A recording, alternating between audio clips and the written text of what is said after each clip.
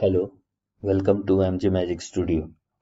Uh, today's doubt is related to remainder theorem. Simple question is asked, sir, what is the remainder when 2 to the power 2 to the power 89 is divided by 89. Let's see this. That when we divide 2 to the power 3 by 3. What is the remainder? 2 to the power 3 is 8. If we divide 8 by 3, remainder is 2. Let's take one more example. 2 to the power 5 is divided by 5. 2 to the power 5 is 32. 32 when divided by 5, remainder is 2. 2 to the power 7 is divided by 7. 2 to the power 7 is 128. 128 is divided by 7. So this is 1 time 58, 56, 2. Remainder is 2. So every time we see remainder is 2.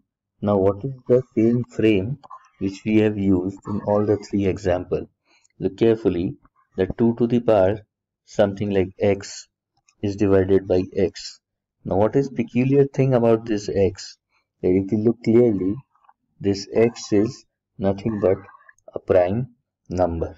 So when 2 to the power p is divided by p, remainder is 2. The same thing is with Fermat's little theorem. Okay, Fermat's little theorem.